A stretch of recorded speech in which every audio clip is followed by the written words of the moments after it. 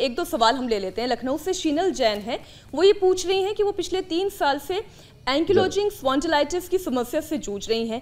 इसकी वजह से उनकी आँखों की लाली और काफ़ी दर्द आँखें लाल रहती है और साथ ही काफ़ी दर्द रहता है उनकी आँखों में और अब उनके पाँव में भी दर्द होने लगा है। देखिए एंक्लोजिंग स्पोलाइटिस में रीढ़ की हड्डी ऐसे आगे की ओर ऐसे झुकने लगती है। और धीरे धीरे जैसे कुबड़ापन बोलते हैं आम भाषा में वही अंग्रेज़ी में नाम एंक्लोजिंग स्पोलाइटिस है। जी। तो इसके लिए एक तो जब भी बैठे सीधे बैठने का अभ्यास करें पोस्चर को ऐसे रखें। ज़्यादातर लोग ऐसे बैठते हैं और और भी झुक जाते हैं बल्कि ऐसे बैठते हैं। तो गर्दन ऐसे ना झुकी रहे। चाहे ऑफ़िस में बैठ के काम करते हैं चाहे घर में बैठ के काम करते हैं टीवी देखते हैं ऐसे बैठ जाते हैं। ऐसे ना बैठें। हमेशा ऐसे अपना पोस्चर अच्छा करें बैठने का। एक बात। दूसरा जो अभी हमने रीढ़ की हड्डी के अभ्यास बताए, इनको करें। दूध में हल्दी शिलाजीत और ये मैंने बताया अश्वशिला के कैप्सूल अश्वगंधा और शिलाजीत दोनों इसके अंदर होते हैं। ये हड्डियों के लिए ज़बरदस्त औषधि होती है।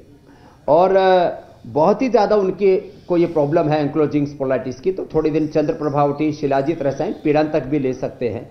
और रीढ़ की हड्डी के लिए ये सबको सुलभ नहीं होगी, लेकिन कोशिश ज़रूर कर लें कि हड जोड़ ये हड्डियों को मज़बूत बनाने के लिए दुनिया की सबसे ज़्यादा चमत्कारी औषधि है।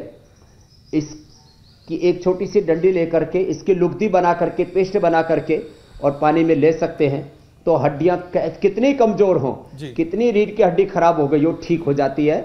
इसमें एलोवेरा भी लाभ करता है। एलोवेरा का जूस सुबह शाम पीने से और गिलोय गिलोय तो कोरोना से लेकर के, मोटापे से लेकर डायबिटीज़ से लेकर के, अर्थराइटिस से लेकर के, हड्डियों की मजबूती के लिए ये जो गिलोय नाम की औषधि है, अश्वगंधा के पीछे हमने रखी हुई है, रोज बताते हैं। ये भी रोज पी लिया करें सुबह शाम खाली पेट।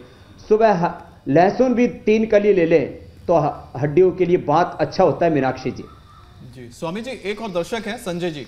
उनका कहना है कि जब सुबह उठते हैं वो तो उनकी उंगलियों में गर्दन में अकड़न रहती है तो उससे दूर करने के क्या उपाय हैं योग के ज़रिए? और साथ ही स्वामी जी एक और सवाल ले लेता हूँ। सुनीता कौशिक है। उनका कहना है कि कंधे के जोड़ों में तो जकड़न और दर्द रहता है दस बीस बार। और फ्रोजन शोल्डर है सुनीता जी की। तो वो एक ही बात है।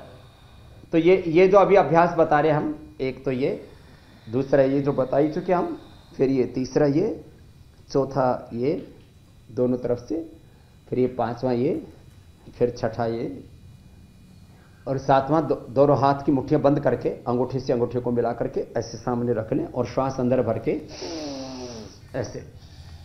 सामने हाथों को खोले लेकिन पीछे से अंगुलियाँ नहीं खुलनी चाहिए अंगुलियाँ ऐसे मिली रहेंगे। ऐसे।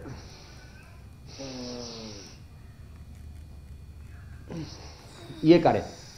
और जो बाकी उपाय मैंने बताए थे, उनको भी साथ साथ करें। दही, छाछ, नींबू, अचार, टमाटर कोई खटाई ना खाएँ और पानी भी ठंडा ना पिए, थोड़ा गुनगुना पानी पिए। जिनको भी जोड़ों में दर्द है, हड्डियाँ कमज़ोर है, कफ है, अस्थमा है, उनको ठंडा पानी नहीं पीना चाहिए। बच्चे एक और सवाल आया है। ये दर्शक है आदित्य। वो ये कह रहे हैं कि उनके कंधे में वेस्कुलर नेक्रोसिस है।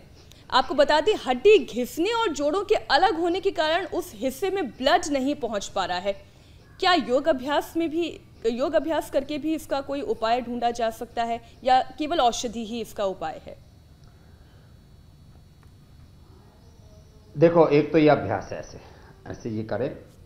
दस, बीस, पच्चीस बार, ऐसे दोनों तरफ़ से एक, दूसरा ये। आराम आराम से ये करें। और यदि बन पाए तो धीरे धीरे बन, उनसे लग पाएगा, बाएँ पैर नीचे, दाएँ पैर ऊपर, दोनों तरफ़ से ऐसे गोमुखासन। ऐसे जो पैर ऊपर है, वही हाथ ऊपर लिया, दूसरा हाथ पीछे से लिया और ऐसे पकड़ लिया। ये गोमुखासन भी धीरे धीरे होगा। और दूध में जैसे मैंने बोला था, हल्दी, शिलाजी अश्वशिला या पीड़ांतक, त्रयोदशांग गुगल, इसका सेवन करें। और यदि वंशलोचन मिल जाए तो बहुत अच्छी बात है, इसको भी ले लें। तो उनकी हड्डी के अंदर की कमज़ोरी 100 परसेंट ठीक हो जाएगी ब्लड एनर्जी का सर्कुलेशन पूरा हो जाएगा।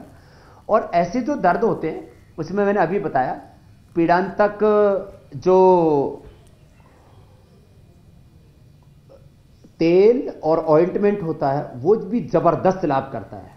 और गिलोय सुबह शाम काढ़ा पीने से किसी भी प्रकार का हड्डियों का दर्द हो, पूरा ठीक हो जाता है। इसलिए हमारे आयुर्वेद में अभ्यंग और ऐसे ही पीड़ांतक क्वाथ आदि हैं, उनसे वाष्प देते हैं। हमारे यहाँ आयुर्वेद में जो पंचकर्म बोलते हैं ना, स्नेहन, स्वेदन वीर चवन ये ये सब भी बड़ा ज़बरदस्त उसमें लाभ करता है। तो इनको ज़्यादा प्रॉब्लम है। फ्रोजन शोल्डर बहुत ज़्यादा है, कहीं पर ज़्यादा ही दर्दे हैं तो वो पंचकर्म भी करवा सकते हैं, उससे भी लाभ होता है। मीनाक्षी जी।